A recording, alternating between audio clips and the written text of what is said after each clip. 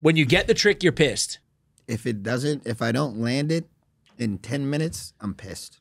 Really? Yeah, even if I land it, I'm like, wasted my energy. I should have did that like two days ago. And I love landing tricks and I love getting footage and I love all this and that. But sometimes it just takes longer to do than it needs to because I know my capability better than anybody that could ever even lay eyes on me because no one's around me more than myself. Yeah. So anybody even telling me like, I know you can get it, it's like, I know.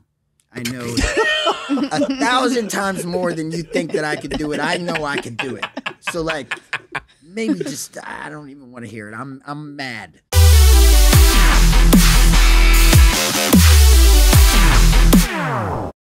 Looks like Wait, are we have we already started? No. No. I was like, is this a, are we doing a whole banter thing here? I'm like, I don't- All right. We're recording.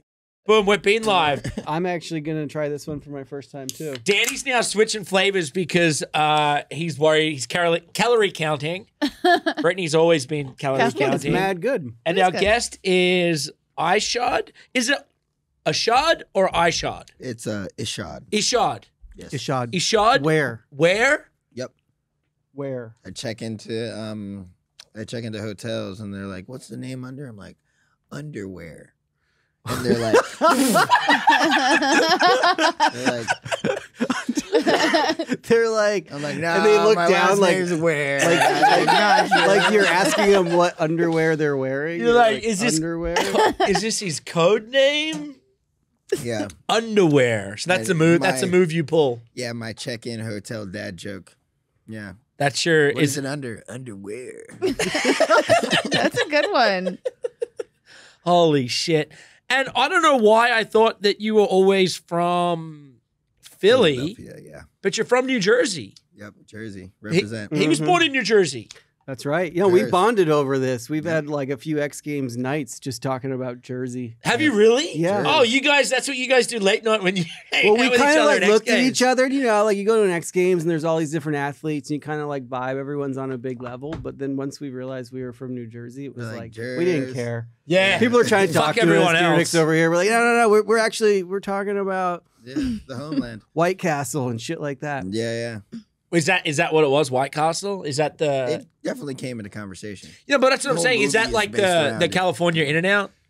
Um, You ah, can't White even Castle really is just compare. White 'em. Castle. Yeah. Yeah. So when they when they did a movie about it, were you guys like, "Fuck yeah, this is the I'm gonna watch it"? The Harold and Kumar. I mean, I was just, I lived it and I just thought it was normal. I was like, oh yeah, a movie about, well, aren't White Castles everywhere? No. yeah, no, they're not. They're not. No, No, they're hard just- to find these days too. Yeah. And a food that you can um, buy frozen, put in the microwave for like a minute, like you uh, take it out of plastic, and it's fucking perfect. And, but it's perfect until, You take Yeah. a bite. no, later. Oh, Until oh, you eat oh, six of them. Oh, Yeah. oh, yeah, yeah, yeah. That's like most things good. I don't know, right? I So don't you- know, I gotta, I feel like I got an iron gut. You do? Yeah. Do you get? You travel a lot. I I have a weak gut. Do you get? uh Do you have a, a like? Is food poisoning a thing that like comes up with you like in some of these weird countries you're in? No, always. It, it happens very rarely, but very inconvenient times. Last time I had food poisoning, it was uh, it was born and raised, um, the born and raised party. Okay. The, the City oh, Hawkins. oh yeah, yeah, yeah, yeah. I had some snapper, put me down, Oh, this fish took you down. took me down. You gotta watch. You gotta watch out when they're serving snapper. Yeah, but I'll eat it again. I'll try it again. I Yeah. think it was just a fluke. Yeah, You know, fish it, is not the fish, but an actual fluke. Yeah, I mean, fish is good until It it's was a not. major flounder. You're a flounder. I don't know. We're talking naming fish. So you started skating at nine. Hmm? You started skating. Uh, eight. I Eight? wanted a board at seven, but I wasn't able to get one until, you know, later. Right. A year later. Yeah, you know, oh, I want this, I want that. Birthday. We'll wait till the birthday. I got the board when it's my birthday, and then that's where this whole how I'm here started. That's crazy because it they like p- parents are kind of right though. Kids will want a bike, want a skateboard, want a pony, want a this, want a that. You give them a year or a year and a half, and let them. If they still want the goddamn thing, then you get them. Yeah. Is that how you got the skateboard? Yeah, I wanted a mongoose, or I wanted a skateboard, and then my mom got me a mongoose. That is not a skateboard. No, it's not a skateboard. And I was so bummed. I was like, ah, but it's like they don't get it. They don't get No. like, the real. Yeah. You know what I mean? This is a real thing. Well, maybe she was And- thinking like, well, you now you can ride your bike to the skate park. There wasn't a skate park in riding distance. The town that I'm from, Bordentown, New Jersey, It's where the first uh, schoolhouse in America, and it's also where George Washington crossed from New Jersey into Pennsylvania. You know that photo where he's like standing on front of the boat and he's got the Oh, flag.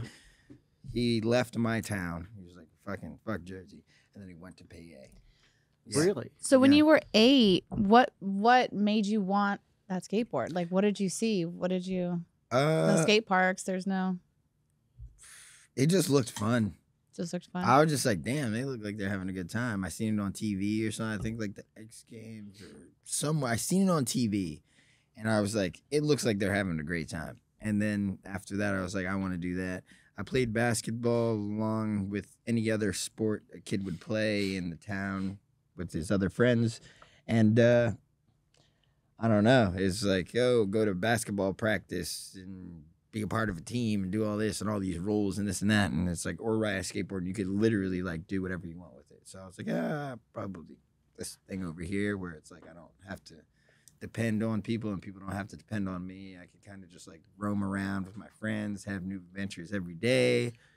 And uh, it's just more free, more freedom. Right. That's what I that's what I was drawn to with the boarding. Skateboarding brings freedom. And Yeah. were you riding like mostly just kind of flats, concrete, curbs? Like what was your first like real uh Just progression in a way of like in the um just in the middle of the street just kicking it around not really doing much because i also learned at a slower pace because you know you don't have instagram and all these videos like being able to like watch how to do this or being able to slow mo everything it was even before youtube came about it was like kind of like i started skating then youtube came about like kind of like maybe a year or two later so it's like there wasn't like the slow mo aspect and all this other stuff. You can't you couldn't like break stuff down. And then I got skateboard product, but I didn't get videos, magazines, and like we didn't have money for all that extras. So all I got was a board, and I just had to pretty much try to figure it out by myself. So I was pretty much just kicking around this piece of wood, not doing much for a minute, and uh, having an amazing time with it. And That- then, um, yeah, That's actually kind of sick, though. I think that's how it's supposed to happen. Yeah, I was just like, uh, I got some friends like maybe a year after. Like I think my, my friend Dylan started skating, and he had videos and this and that, and then that's when ball started rolling. What's the first skateboard video of memory that you remembered watching, or the first skater that you were kind of like, hmm, I look up to that guy, or I like that person? It was um, like yeah, right. Um, audio, one step beyond, and flip. They all kind of came out around like 2001, 2002. yeah, that was all kind of the same era, right? And that the yeah, right one of correct me if I'm wrong was like all the crazy, like that crazy intro, Yeah, yeah, yeah slow mo. Yeah. and then the, super slow mo. and then the flip one was just like the gnarly, like like pot off the pot off the pot. like yeah, yeah, like I would say more like hesh hardcore. I, Yeah. I don't, I don't know, but it was, I don't know, like it was sick.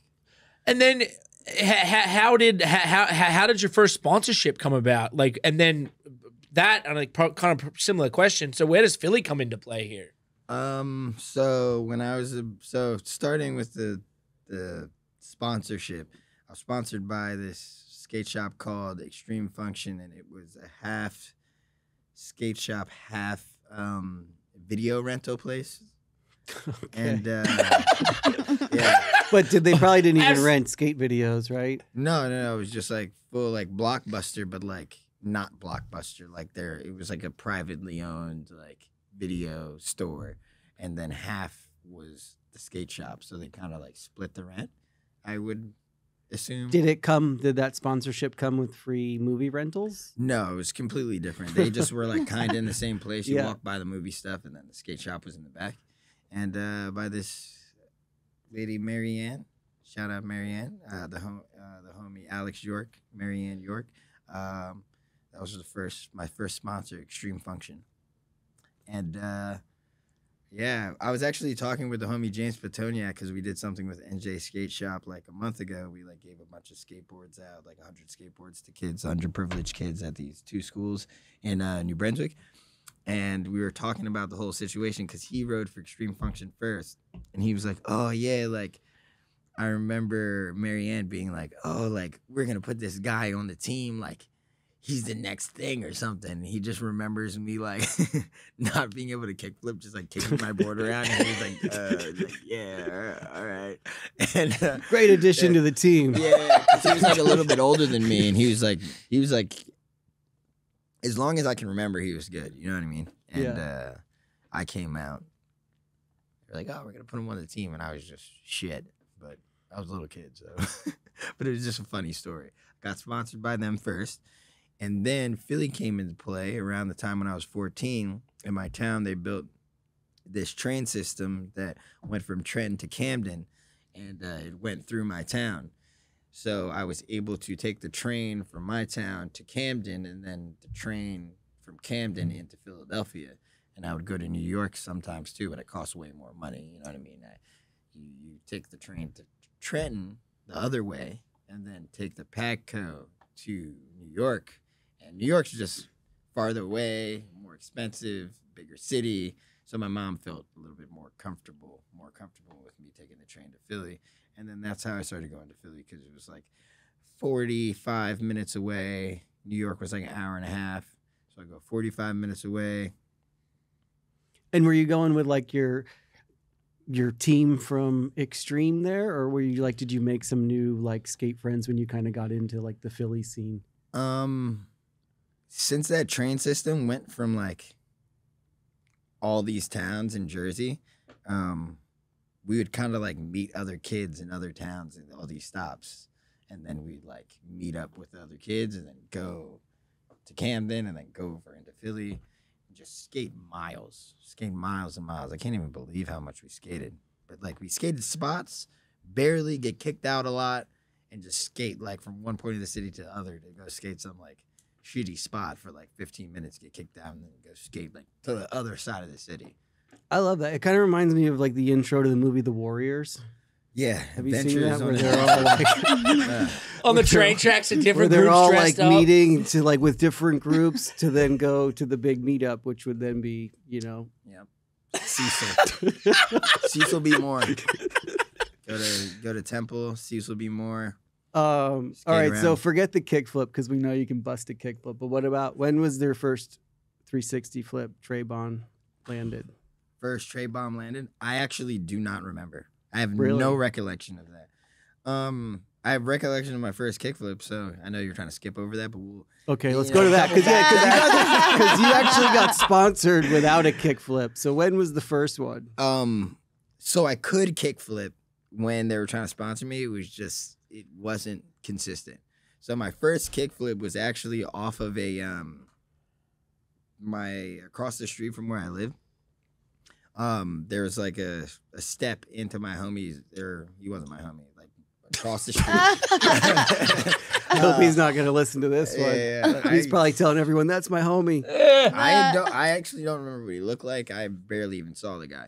So uh, just off his curb into his driveway, and I feel like that's kind of why I jumped down stuff because like I couldn't get it to flip on flat, and I was like, maybe if I go off something, I'll have a little bit more time for it to flip over. So I started trying it off stuff, like just a curb, and then my first one was like off of this curb into this like mellow driveway.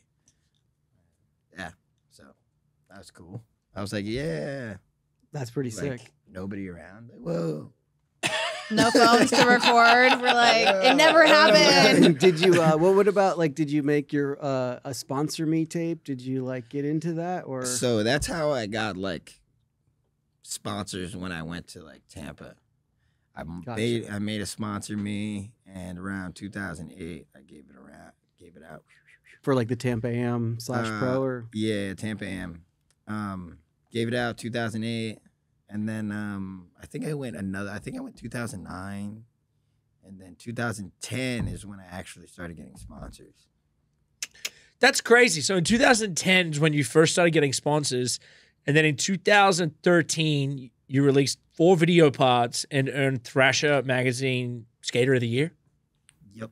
That happened. That's got to be a pretty record timing for uh, any skater or any athlete to go from that level to then. Yeah. And then it's crazy because like coronavirus was a big reflecting time for me because from the time when I was that age or even the time that I actually started getting sponsors like um in general um I like kind of left. So when I was 17, I left my house and I thought I went to California for the second time. I thought I was going to be gone for like 3 weeks. Was gone for 3 months and then my whole life changed and then I was just like never home after that. I didn't even finish school, nothing. Nothing. I was Yeah. just like out. Yeah. And then I was pretty much traveling consistently for 11 years straight, partying, drinking, this, that, the third. Oh, whoa. And the coronavirus happened. And I was like, hmm, reflecting time. I actually get months at home. I've never stayed more than a month at home without like being like hurt. And the only thing that I've ever really hurt is I've broken my finger. And then last year I broke my hand being a fucking idiot. I punched a trash can and broke my fucking hand.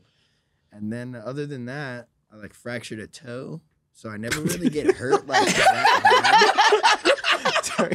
Just, it's it's funny because we've had quite a few people on here from motocross to this, and Yeah. your injury list is is pretty serious, right? is for the record books. Yeah. So I never really get hurt that We've bad. never laughed at someone's injuries. Yeah. Like, well, you know, I I fractured a I- finger. It's like Well, I broke punched a trash hand. can. That- What the I- trash can do to you? Yeah, but you've Uh, have you ever like- sandwiched your yourself? uh, What is it called when you like take the skateboard pogo between the legs? Uh, actually, when I was really young, I was gonna say yeah, I 'cause- tried to do some trick, like a blunt slide or something, and my board went over, and I slid the rail in credit card. Board Okay. up, my shit slid down, but you know, I was so small and light, it was just like, oh, like, oh my god, but Yeah. it's like, I wasn't that like, crazy. well, we just want people to know how dangerous skateboarding can be, right? There's things Uh, Not can- for you. well, yeah, it's dangerous. I mean, I just try to, I just try to avoid that type of shit. you know? I mean, I guess everybody does, but maybe I'm a little bit better at it than other people. It sounds like you're Yeah. perfected it. Ah, yeah. We'll see. I And mean, did you- I don't know what happens. Did you like watch a lot of videos to progress, or was it more just like watching people in person and challenging yourself at like these events? Um, I guess I ask a lot of people questions about anything that I'm interested in. Mhm. Not enough to where I'm annoying, but it's like let's just say I'm trying to learn a switch big flip. If I see someone do a switch big flip that they can do a switch big flip, I'll ask him, "Hey, give me a tip on switch big flip." And a lot of people will say the same thing, and there's always one person that will say something that's different than all the other people that will make it, you know what I mean? Give you Give that you next that step, extra like step. You know what I mean? It's not like wait this and that and this. put it'll be like here. yeah, it'll just be like hey, like Can you give us a scenario of where that happened? um. I mean, I do it a lot with photography now because I got back. I got Yeah. back into photography. I Yep. used to shoot, but I didn't know how to like use a manual camera. And Yep. I'll just go around. and I'll ask photographers like just very basic stuff. You know what I mean? Just hey, what do you think about this? What do you think about that? And then some people will say very basic things, and then one person normally will say something. One or two people will say something that is different, and then that will, you know what I mean, help my learning process. you Right. know? And then I just like now it's easier to learn anything because there's YouTube. You can just like literally like It's kind of crazy, right? it's like anything. kids. I think we were like the last era of growing up without the internet kind of being a daily thing, and now kids just grow up with it. Kids Yeah. know they don't need to know anything because it, they know everything. It's in their I was pocket. I was gonna say because you would think everybody would be like a little bit sharper, but mm. Nah, they know they don't have to be though. That's the problem. Back in the day, if you wanted to learn something, you had to. Again, like when you got your skateboard, it wasn't like you just got your skateboard and all of a sudden you're at the skate park and then you've got this homie and that homie. It was a thing that took time. Mhm. Um, and that's uh, back in the day. You just have to s- like sort out what you're looking for and then grow into it. Whereas today, that that it's it's very weird. It's like instant gratification. They want it yeah. Now. But do they even really get gratification anymore either? It's like for a a weird. minute, and then they want more after, and then it's just like a scrolling on TikTok or scrolling. They just tit, tit, like it, keep tit, like it just it's an influx. You know what I really hate is when you ask someone a question and they just go like Google it. And you're like, "Well, I'm asking you." Mm, Or do like, you "Do know? like Maybe you don't know. You could just like say something. yeah. Well, I was like, listening to it. You a. learn through human interaction a lot more than you just learn from like This is yeah, classic. I feel like I grab onto stuff better if I if someone teaches me something rather than me just being like. Uh, it's harder for me to hold on to information me reading it. It's like one ear more one ear out the other than just like if somebody that I actually like respect and I know tells me something, I'll like remember it like for the rest of my life. But if I just read it, it's like the chances that it stick with me, I would have to like read it and then read it again and then read it again and kind of like keep reminding myself. But it's like if you told me something, like if we went snowboarding and you were like, hey, like, and you gave me a tip, that's sticking with me forever. But I think it's also just like your way of learning, like your Exactly. visual, auditory, kinesthetic. So like you're like a hands-on. Exactly, Mhm. exactly. That's just like how I learn better. And that's why I ask people questions. Yeah. And this, that, and the third for people from people that I think that would know this or that. Uh, that's why I ask questions the way I do because it sticks with me more than just like reading it. I got a question. watching. is what could you give me any tips for the 360 flip? because I hear a lot of people like that just say, "Oh, just scoop the tail." Yeah. Um, But it never works for me. it is see anytime that someone asks me how to do a trick i have to see how they do it How first. bad they do it. yes sometimes sometimes how bad they do it yeah um so i would have to see their technique Mhm. um the way they move their body the way they move their shoulders the way they move their legs and then from there i can give somebody a tip on what they're exactly doing wrong in a way that i could try to help them correct what they're doing to make them have a better experience or a better time learning said trick All right, cool. Well, I'm gonna email or text Email you some a- videos. You just later. email him. You just email him. I'm not gonna email. videos. him, I'm gonna text him. You just him. email Yeah, Mr. email him. Underwear the videos, and I'm sure he'll uh, he'll get right back to you. yeah, I mean, that would honestly be the best way for me to help you with 360 flips is you sending me a video, and then I'd be like, all right, so, Okay. well, well, that's just not going to happen. well, of that's how you help me. I I send him text. I text him videos of me snowboarding, and I'm like, "Fix me," and he's like, "Okay, well, first of all, You don't text me videos of you snowboarding. I should. I will." Actually, I think I do. Make your stance bigger. I snowboard with the wide stance, and people hate on me for it. It's what we Yeah. used to do back in the day, and I still kept it. Yeah, 'cause All the it- kids 'cause today have it's skinny like, stances. Uh, It 'cause looks, they, it looks 'cause looks a little kooky. It's like uh, it's almost like pi- pirouetting because they spin so much, and when your feet are closer together, you have you can spin better. I would assume. That's what I would think, but I'm I don't not a know. snowboarder. I mean, you want to bring in the body tight. I Yeah. think it's like tightening of. yeah. Yeah, it goes back to a style thing for me, and I still think it looks better with the wider stance. So. Mhm. I stand. So me snowboarding recently is because anytime I would snowboard, I would go to Zoomies 100K, and then recently I started going snowboard, going on a snowboard trip to Utah every uh, every New Year's, and amazing experience. Utah has great snow. Great snow. Uh, the group I go with is just super fun. But besides that, I actually have a board and I can ride the same thing every time. Got your own setup. You're not just showing up and like, here's something, a small board and some boots that maybe fit and a jacket. And Yes, I Yeah. have like a setup, and I like set my board up like the way I want to. So I go to the snowboard shop, and I'm like, you know what? I skateboard, so maybe I should just choose more of a skateboard stance. So I like have my stance kind of more riding like goofy, straight shoulders this way, and it's like when I skate switch. I'm very comfortable riding kind of backward switch. So I was like, ah, I mean, I'm not that good to ride switch anyway, but if I need to ride switch, I'm not uncomfortable riding kind of closed off. But um the person at the, the snowboard shop was very adamant that I, I'm like, I think that I'll be fine. I'm, have pretty good balance. I'll be good.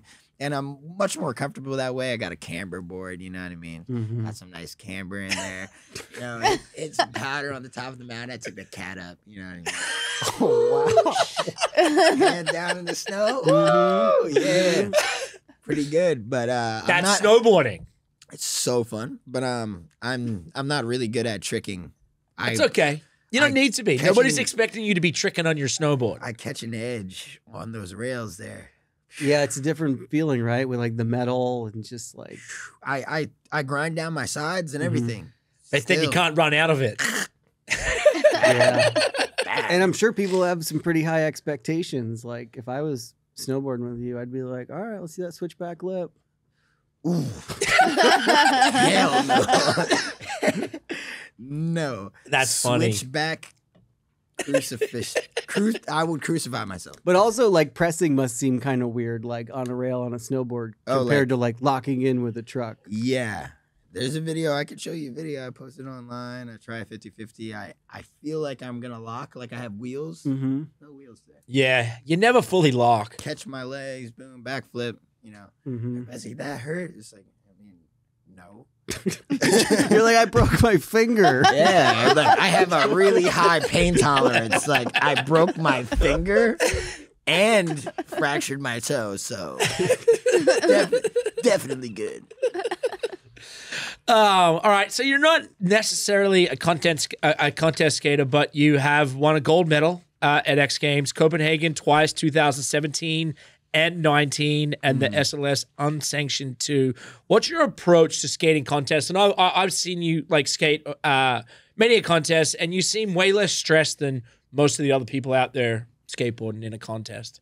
Yeah. Um because I just don't think it matters that much to me. Yep. I go to contests because uh I love skateboarding and I get to see a lot of people that I don't generally get to see because if I'm going on a skate trip, I usually skate with the people that I'm on a team with. So um, if I go to a contest, I get to see a lot of people that I haven't got to that I don't get to see that often and I've been skating with these people in contests since I was like 14, 15 years old. So it's dope to see everybody, see the industry. You always, I always see something crazy. People always do incredible things. And uh, if I happen to skate the contest good um, and win some money, cool. But um, the whole winning the contest and the glory thing and being like, I just won the contest, it's like, not, ah, it's, it's not my thing. And I'm not good at celebrating. I'm honestly not good at celebrating victories. Anytime, What do you mean? You got to elaborate on this. anytime something like worth winning happens to me, just some weird shit happens and I have like the worst night ever. Wait, So- what? So you when you win, it, it's awkward. Every time. Like you like Every buy a bottle and then realize how expensive it is. No, no. It's just like something just it's just something awkward happens and it's just like not the night that it's all chalked up to be. Mhm. And You celebrate too hard? No, it's just like I, I want to, and then some weird shit happens, and I'm just like, wow, that sucked. So now I'm at the point when I win anything, I don't care. I don't care. I'll just go home. I'm better off partying on a regular night than I am about something that I actually want. So I just anytime I win something or anything good ever happens to me, I just try not to think about it like a big deal. It's just another day. There's something to that. No, they actually say like if you go into auditions or if you go into stuff expecting not to get it, usually that's when you get it. Like I've always heard that over the years, and I think that there's something because you're not putting that much stress or pressure on yourself. You're like, eh, whatever, whatever happens, happens, and then Yeah. the but- the nerves calm down, and then you ride incredible. And then it's like another thing in the contest. It's like, oh, people are always like, it looks like you're just, it looks like you're just like making it up. Cause I am. Cause literally every single time I like have a contest run and practice it, I'll literally do it like a hundred times in practice. Oh, it's so easy. Oh my God, it's so easy. It's so, oh, when this contest happens, oh my God, I'm straight to the finals. Missed the whole line whole thing I've been practicing, I miss it. And then I try to do the plan for two times, usually to get into the qualifi- qualifiers or whatever, you get three tries. Two of the times, completely fuck up the line. And I'd be like, all right, I've been skating this park the whole weekend. I know what I can do. I might as well just skate around and see what happens. And then in that instance, I do good. Next thing I know, I qualify second or third or or first. And then um and then it's hard to win the contest twice. That happens to me a lot too. I'll do really good the first day and I'll qualify like first, second, or third. And then to skate again that good two times in a row is just kind of it's kind of hard. You know? No, and I, you never I been twice. also the, the Once is already format's kind of weird it's like, oh because it's like you just laced a whole line and then it breaks into like a best trick or something and you're already geared for flowing around the park. Yeah. I don't know. Contests, they're fun. It's good to see everybody. Could win some money. Maybe not. Ah. Yeah, well, then if you win, it sounds like you have a sucky night. and if I win, I might have a sucky night. See, there's that. Reminds me of like New Year's Eve. Like, Yeah, I always was feel gonna there's think always- that. That's why I go to Utah. Yeah, Because because you're always like, oh, we're there gonna have the best two- New Year's Eve. I haven't had a good New Year's Nah, Eve. well, the since, problem like, I is was with the four of us- 19. last two years, amazing. The problem is were in with the, the snowboarding. Yeah, because also it's like this is if you're in a big city, everybody always tries to do the sickest thing. Oh, like I I live in LA. Everybody's trying to go to some mansion party or like somebody's fucking house that they don't even know. That's like some crazy party, and it's like, don't you want to just like be in the New Year's with your friends, and then everybody tries to do the sickest thing, and then everybody fucking separates, and then fucking homies over there, homies over here. Everybody's always trying to do all their own shit, do the sickest fucking thing. New Year's, woo! Like time is fucking. First of all, is fabricated. So like, what is a new year? What is that new year? You know what I mean? That's a good question. So it's like what is it? it is a new year, but it's like Nothing really restarts. no, no, we No. just keep going. So It's that- ongoing. so that being a fact, it's like what like I would rather go somewhere away from all the bullshit, have a group of people that have already planned to go do something, and then you everybody's together, and then it's not like somebody's gonna just split off and try to go to fucking Leonardo DiCaprio's house or something weird like that. Because Um, they never come back from that. Maybe not. I mean, that's never something that's ever happened to me. I just threw that name out there. But uh yeah, it's just dope to just have your gang and just be there with them. And then also like when you're in Utah, there's activity. You can snowboard. There's something to do other than just drink. You can take Drinking's that. fun. You can take that camber out and you know get that fresh. Pow. Yeah. Pow pow. We got some last two years. We got some good days. Yeah. really good days. You know, I might have been able to show you something. You know what I mean in that powder. He's like, Or maybe he's you like, can "No, email no, Danny no, a video. No, no, no. I'm looking forward to this because I Dude. feel like your energy around snowboarding is going to be amazing. Snowboarding's so fun. I have an amazing time. I get broke off though.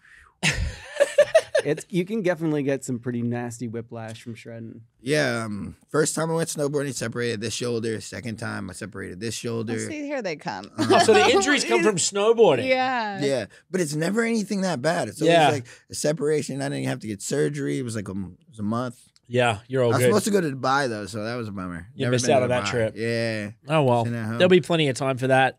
What Yeah. about winning contests? What about when you're out? So you just have a new video part, or the latest one with Spitfire. What about when you go out on a trip or getting a trick? When you get a good trick that you've been working on for a day or two days or a week or whatever the fuck it is, I'm pissed. when you get the trick, you're pissed. If it doesn't, if I don't land it in ten minutes, I'm pissed. Really? Yeah, even if I landed, I'm like, wasted my energy. I should have did that like two days ago. Oh wow. I'm hot. wow. Yeah. So you're just when you achieve, you're just never that happy. Mm. Hard to please me.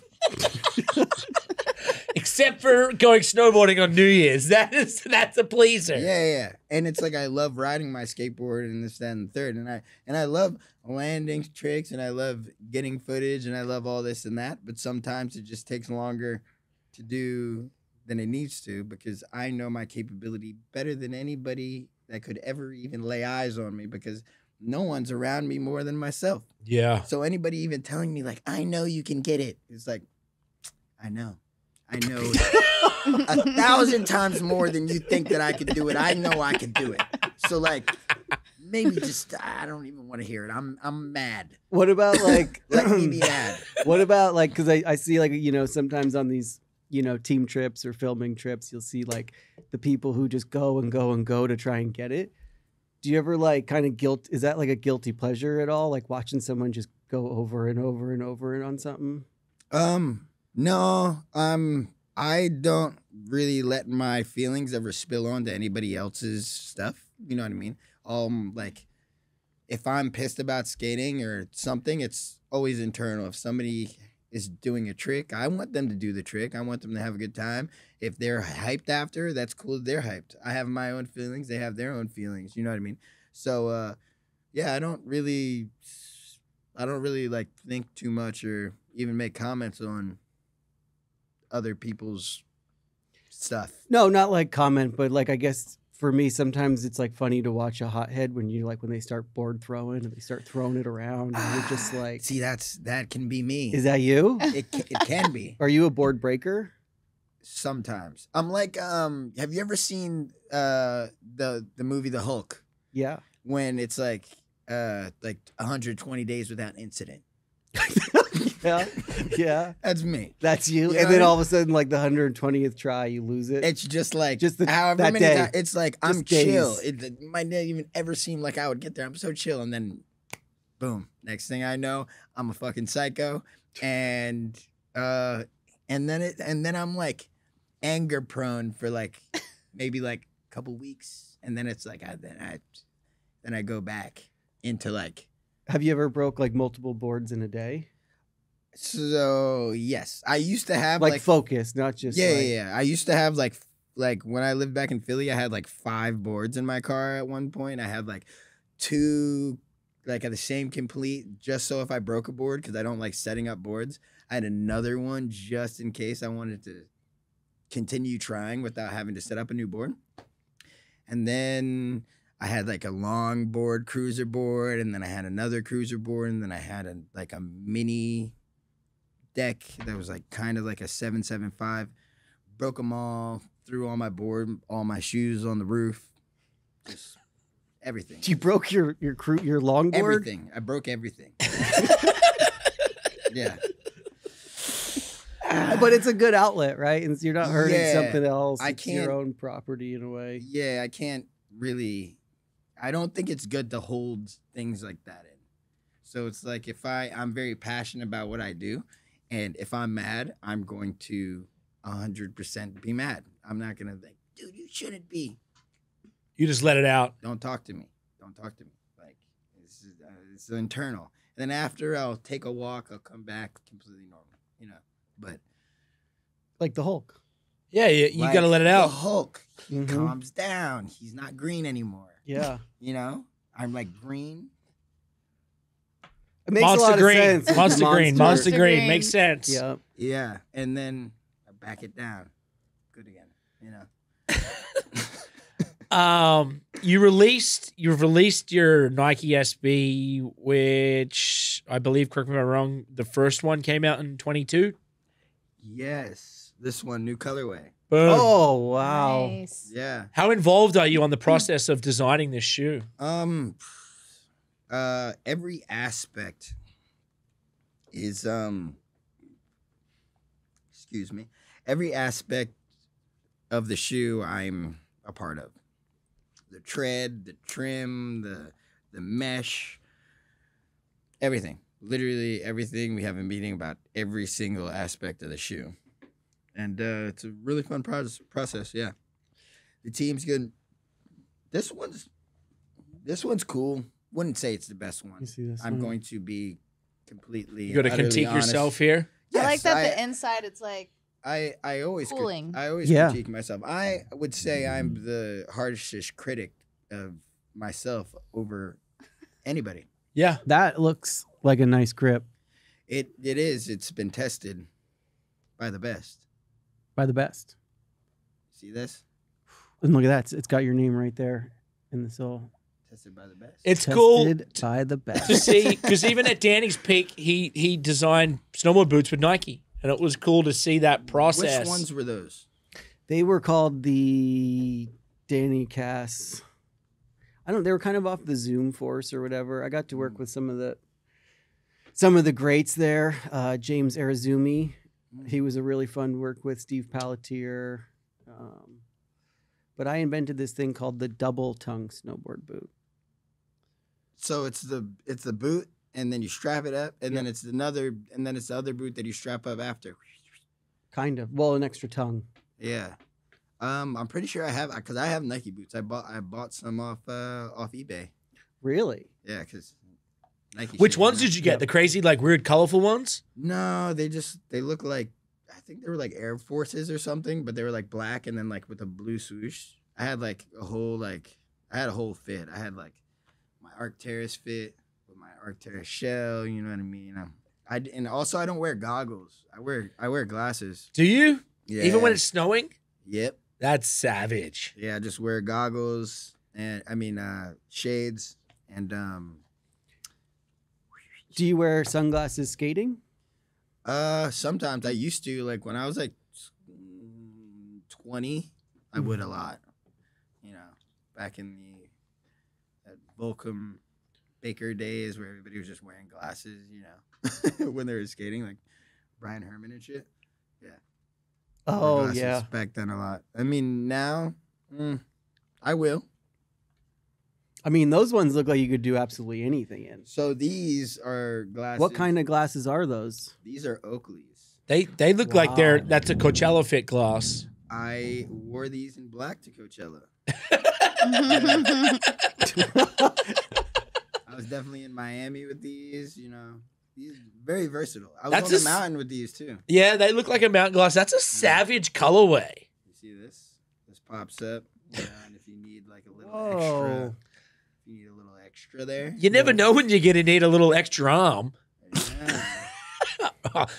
right, Brittany? Right. You never know when you're gonna Uh-uh. need a little How- extra. How she likes that one. how was your Coachella experience? uh, burnt cella. It was cool. Burnt cella? Why burnt cella? You tell me. I don't know. I don't know. I didn't go. I didn't get it. I missed the joke. You could. Was it? Did, take did it suck? guess. Oh, you, oh, you got sunburnt. No, it's just like the weekend. It's just like it's just filled with with. Activities. Oh, oh, oh, oh, yeah, yeah, yeah. Oh, yeah, yeah. I, get- I get that. That's why I don't go anymore because I can only do so many of those a year. Yeah, it's just a lot. It's a lot. Up late, listening to music, dancing. A lot of events. Walking a lot of people. events, walking, and uh, as much as people would like to think that uh, I'm extroverted because I can go and I can talk and I can conversate, I just learned how to be able to do that. I'm very introverted. Yeah. So like being around all these people and doing all this stuff like drains me heavily, Yep. heavily. I just like, I'm just like, oh my god, I'm here.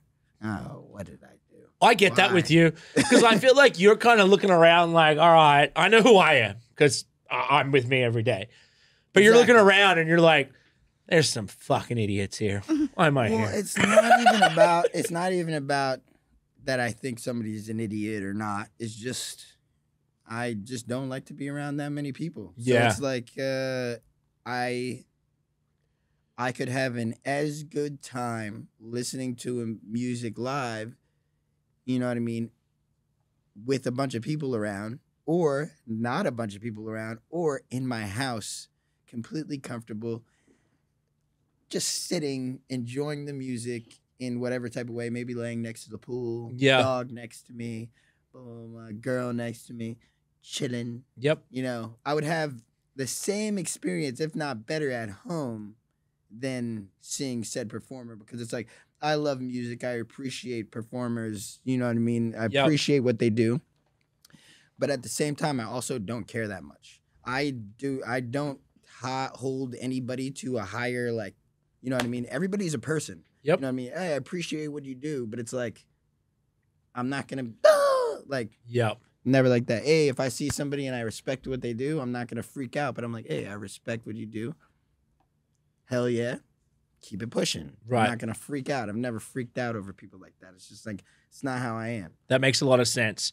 Speaking of people you do respect, um, uh, and this is something you moved into, and I didn't know this, but um, you you walked in one of Virgil's runway shows. Was that the first runway show you you walked in? Yeah, yeah, yeah. Um, uh, thanks to the team and whoever reached out to me. Like that was like, hey, like we need to get him in here. Um, I actually never met per, uh, Virgil personally. I would talk to him online all Yep. the time, but uh, about skating and this and that is a lot of people did, which you saw on the internet. People like Yeah. posting all their. I I didn't feel comfortable doing that.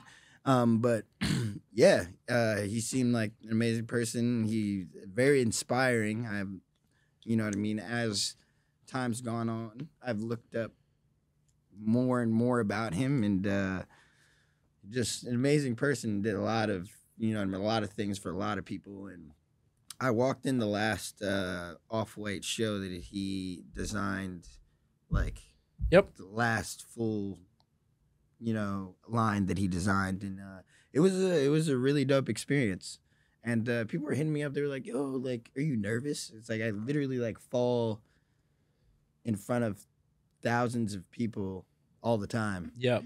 why would i worry about like walking through a room with a couple hundred people Yep. just because it's like Pharrell's in the room. It's like I said, it's like I appreciate like I think Pharrell's dope. I appreciate everything he's Yeah. done, but it's like I'm not gonna like freak out. Yeah. like, yeah, it's just another person. So me walking through the room and me doing this, that, and the third, you just walk confidently. I walk through rooms all the time where there's a bunch of people looking at me. Yep. Why would I treat it any differently in a fashion show than this and that?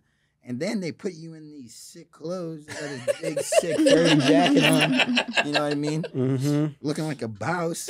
I saw the furry jacket. And I'm just like, did you get to keep that one? no, I didn't. Um, That's always the question, right? Did you get to keep the clothes? Never Uh, really the case. Sometimes it, it really depends if you like another. Uh, and a lot of this time when they do a fashion show, the stuff it's samples, Yeah. so the stuff isn't out yet. So that's a lot of the time why people don't aren't able to keep the stuff. But uh, yeah, it was an amazing experience. Um, I met a lot of cool people. Um, yeah, And you're still doing it.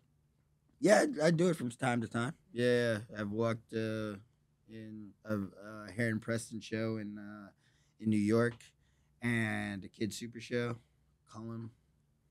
Did you have to learn how to walk or change your walk? Or well, no, because I mean, like, yeah, actually, did you like I mean, add? I, I, ex- you- I honestly kind of like, like, Like even chest from up. skating, like I Yeah. kinda, like Yeah. am hunched over. You just want to walk with good posture, which I but not already, too much swag. I already try to do that. I mean, everybody has their own walk. Or just walk with posture and confidence, and just I guess go. I mean, people tell me, "Oh, you walked great." And That's what like, I want to know, right? Because you're putting on a lot of like stunts. I mean, video parts, skater of the year, right? And then Yeah. someone's like, "That was the nicest. wa- You walked so good." Or you like, right on. Yeah, I'm like, because you don't really know. I'm just like, uh, I just, but it's it's it's a cool experience. I like doing it. It's nice doing something um, outside of what I have been doing for my entire life. You know what I mean? And um, I'm more into fashion than people would assume because uh, I don't really post a lot about that on my Instagram because contracts and this and that. So when I go out, I be putting that shit on but it's Mhm. like I can't really be putting me putting all this different clothes on. Blah, blah, Yeah, blah, not when you're blah. wearing It's not part of your pairs of- job, you know. What? It's like, it, well, I'm saying that's not part of the, the job. Like as a pro skateboarder Yeah. and what you do for those companies, that Yeah, is a completely different. different lane. Yeah, so it's like y- you know, so it's like people will see me in real life and they'll be like, oh, and then same thing kind of when I went out to Paris and I was around and blah blah. blah. Oh, you actually know how to dress. Oh, Yeah. blah. It's like, oh yeah, it's like I can't really put that on my Instagram because it's like, you know, That's cool though. Yeah, it's it's it's fun. You know what I mean? I met a lot of cool people, a lot of good good uh experiences. And met, you know. Again, it's it's it's about life experiences and having those opportunities, and then being able to you know take on those opportunities. Even I was talking to you earlier, like I, I know that you like were always heavily a car guy. Um, Yeah. originally, you know BMWs, your old school BMW, and and and I've seen that you've done some collaborations or small partnerships with them over the years. And Yeah, again, yeah. for that for you, that's something like as being a car person, yes. going and working with you know a, a car company like that is got to be like a dream come true too. Uh, yeah, it's pretty crazy. Uh, after like spending countless dollars on souping up all these old BMWs, when they come in and they're like, "Hey, like, we got this one," you're like, what? "Hell yeah, full circle, let's go." It's uh, it's dope. Uh, R.I.P. Ken Block. That shit's tragic. He's a fucking legend. But uh, yeah, car guy. I love that shit. Um, I actually wasn't into cars until I. So my first car was a 1999 Honda Accord. My mom was like, "Oh, reliable car. You should get this one." A couple months after, transmission started acting weird. Then my sister totaled it. She was fine, but don't have a car anymore. I was like, "What car do I actually like?" Um, and I'm and I used to watch a lot of rally videos and this and that, so that's why I kind of started leaning into um liking European cars because if you look at the way that American cars are, especially back because I like older cars, so like back in the 60s, 70s, 80s, uh, their races, the type of cars that they built, and American cars, a lot of power, uh, suspension, brakes, weight of the car, off, unbalanced car, 550 horsepower, brakes, small disc brakes, suspension, not good. All these stories of cars going off a dead man's curve in the 70s, 80s, blah, blah, blah, blah. Why do you think that? Because the car, all their races are straight line. They go a quarter mile straight. Yep. You know what I mean? And then they're like, "Oh, this car's sick," and they try to make a turn too heavy. Brakes aren't good. Suspension aren't. Suspension is good. Fly off the fucking road and die. I don't want to die. I want to have fun without dying. So I'm looking at these all these European cars and these Japanese cars and their their racing style and the way that they drive is different. Lighter cars, smaller engines, suspension and brake are are equal and it's more of a um more of a balanced car and their races are different like le mans and the rally races Yeah. and this and that the cars are made to go through a turn and keep speed and do this and that so i was like hmm dying fun current corners turning uh european cars and then you know Japanese cars, they have a completely different style as well, drifting, this, that, and the Yeah. third. Toyotas go. Toyotas run forever. Yes. And they're also very balanced cars. So I kind of like was more like uh European, Japanese over American. But I do love American cars. So the car that I was telling you about me building is a uh, is a Chevy LUV. Yep. I want to build a Chevy LUV, but I to for it to behave the way I want it to, I want to get a full frame built. So suspension, you know what I mean, whole full frame, everything built, so it feels like a newer car but has an old car look. Because I love the way old American cars look, but also tying back to that being an, an American car, a Chevy LUV. 1977, that's the one that I have, is actually an Isuzu body because when Chevy wanted to get into mini cars, cause, or mini trucks, because at that time they were mini trucks were popular, but they didn't have the they didn't have the means to do it, and they owned a little bit of stake in um, in Isuzu. So they had Isuzu send over a bunch of bodies from Japan, and they rebranded them as Chevys put Chevy parts in it. So it's kind of like the, the mini truck that I have is like a is like a Japanese Chevy. I'm gonna buy a Subaru. Subarus are- No, how would Subarus are you rate a Subaru? um all wheel drive. I mean, Is that a they- Japanese car? Subaru? Yeah, I know it's Australian, right? No, Subaru's No. Australian. They just had the Australian guy do the promo. Oh, okay. Subaru is not Australian. Well, then why do they call it the Outback? they literally had Mick Dun, uh, not Mick, uh, the uh, Mick Dundee, who plays the crocodile hunter, as the fucking poster child for the Subaru Outback when the Subaru Outback came out. Subaru is not an Australian company. I think it might be European. Yeah, Like I that's think if so, too. they're like the like the, they were one of the most popular rally cars because Right, yeah. of Colin McRae. Yeah, and I'm yeah. pretty sure Subaru is a European. One of the, I, I could be wrong. Definitely not Australian. We don't know shit. The one car company we had holding it is gone. There's no manufacturing happening whatsoever in Australia. And I'm not a big Subaru guy, but, but Bucky's Subaru is really sick. Oh yeah. The white one, gold rims, built it built it by by his own bear once. Do you get in there and like work on the car yourself? I know you So- put some parts in, or Uh, so that's what I wanted to do with the uh, Chevy LUV. I want to have an actual part in building the car. Obviously, not the subframe or the frame because I want the car to. I want it to be. So there's so there's some things that I'm gonna do on the car, and then Mhm. there's some things that aren't gonna. I'm not gonna be able to do because I don't. yeah, You know what I mean? If I want the car you want it to be, safe. Not just safe. I mean, I'm not gonna build it by myself. I have a friend that has worked in custom fabrication shops, and I'll pretty much be a hand to him. Oh, this, that, this. you know what I mean. I, I pick up on things quick, but like the body work, I'm obviously not gonna do the body Yeah. work. but it's like you're building it or you're a part of the process. You just have a Um, guy that knows I'll exactly drop- what they're doing. I'll drop the engine in. Yeah. Put all the put all the gaskets and all Yeah. that stuff. You know what I mean? All the stuff that really doesn't take like that fine Yep. attention to detail stuff. I'll be doing the nut Because the you want to survive. I don't think I would like blow up or No, anything. I'm, no, I'm just saying if you built a car by yourself, it might not be the safest car. Um, I think it would just take me a really long time to do it. You know what I mean? Uh,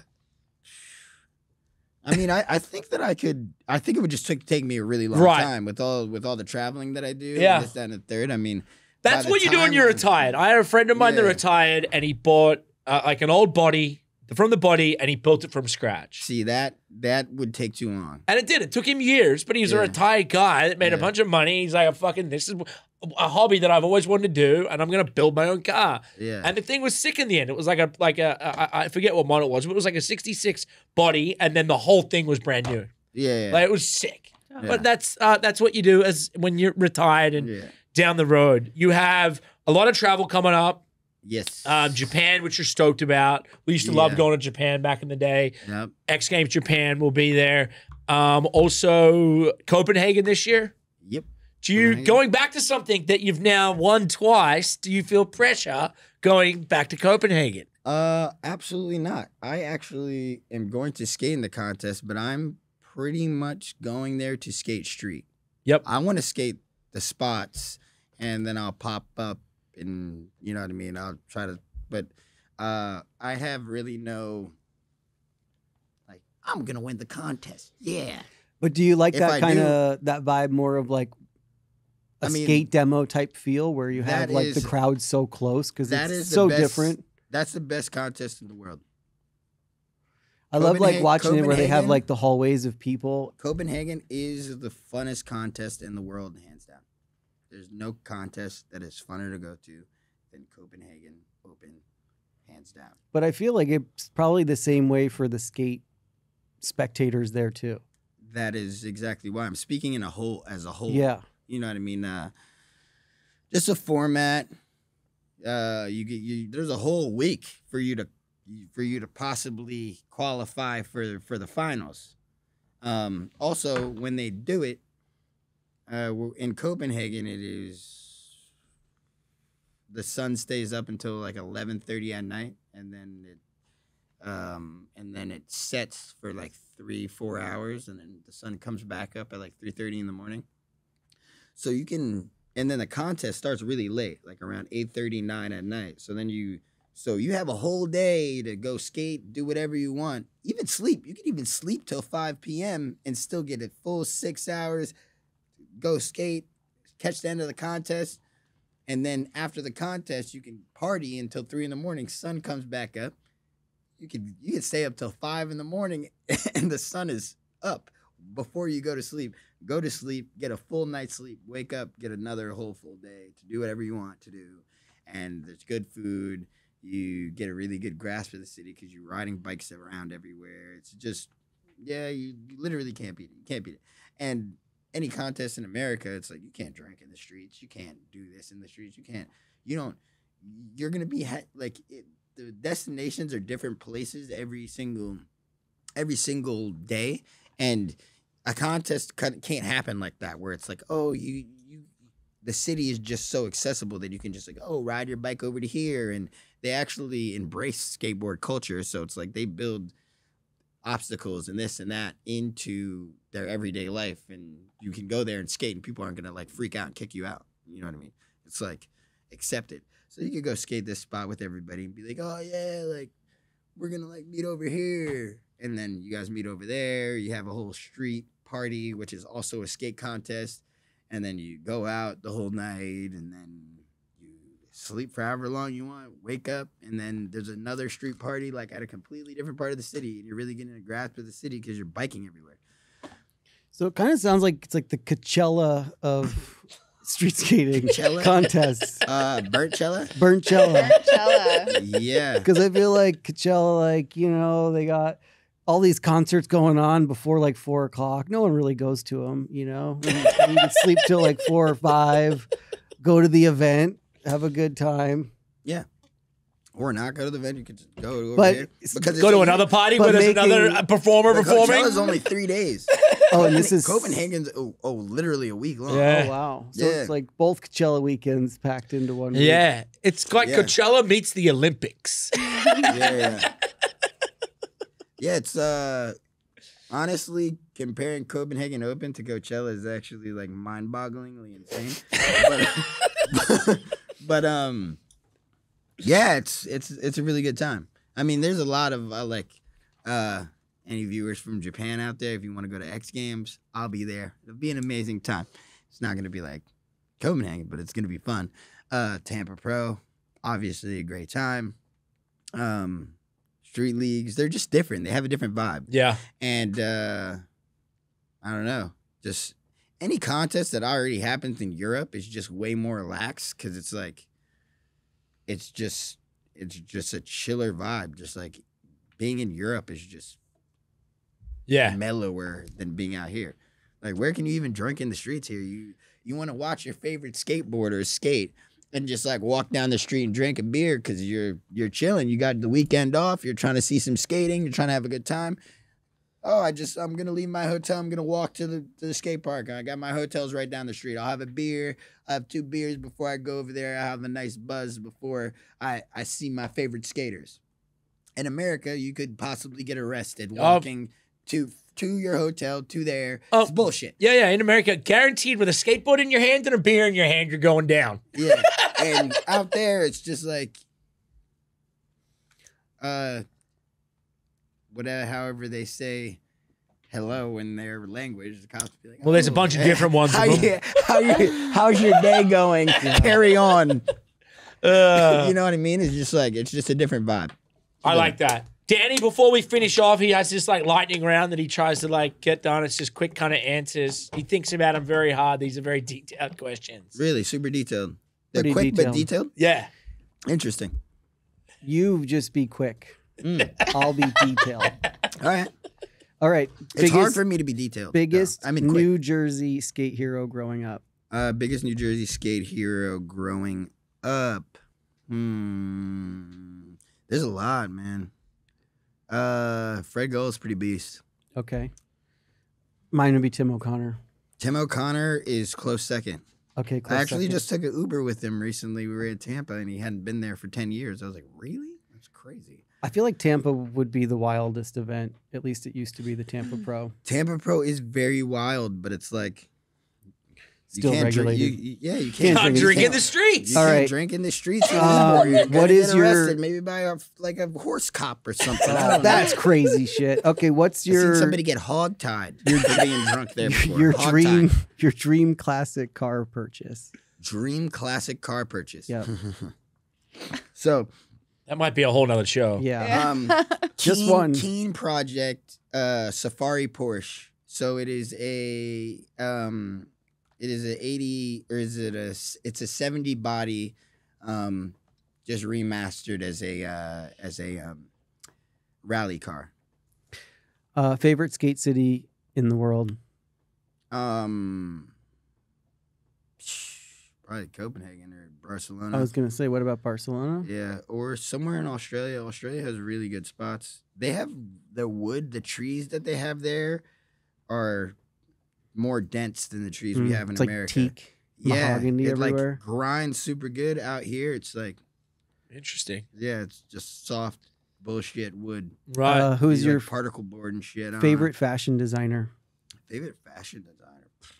That's hard. I don't like any one thing that anybody makes. Like it's like that's like asking me what's my favorite music artist. It's not gonna happen. I don't like listen to albums all Fine. the way through. I listen to like one song. I'll like one, and I'll be fucking with that for a minute, and then, you know, What's Th- the um? that, that one's hard. I'm very tough. indecisive. yeah, well, that's that, that. You answered it perfect. Yeah. What's the weirdest food you've ever eaten? Oh, um, I was in Sicily and ate horse. Never thought I would. That's eat weird. horse. right? What, what part of it? Yeah. Uh, the hooves. Ah, Hooves. yeah. Maybe But I've heard a- about that. Yeah, no, I made that up. Did you? Yeah, You didn't eat horse. He doesn't even I, know I've, what he I've ate. ate hoo, I've ate horse, but not the hooves. Uh, All All right, right. a thigh or something. I don't know. I've had horse sushi before in Korea. You've had that. Horse sushi. Oh, thanks. Horse sushi. Did I like it? Yeah. What yeah, about cool. horse hooves? I've Um, you've heard of. I mean, fucking. I didn't know. hey, listen. If you put it in front of me, I'll eat it. really? Yeah, yeah. I did the lamb brain thing. Not even. I didn't even flinch. Oh, I think I ate some sort of like, Tastes like animal chicken. brain. Tastes like chicken. I was Yeah. like, give it to me. Cool. All right. And the final question: Final. What's bumping in your headphones right now? Uh, your voice. Perfect. That is a That wrap. was really- Brittney, anything? no, thank you so much. Probably one of my favorite yeah. interviews yet, M- Mr. Underwear.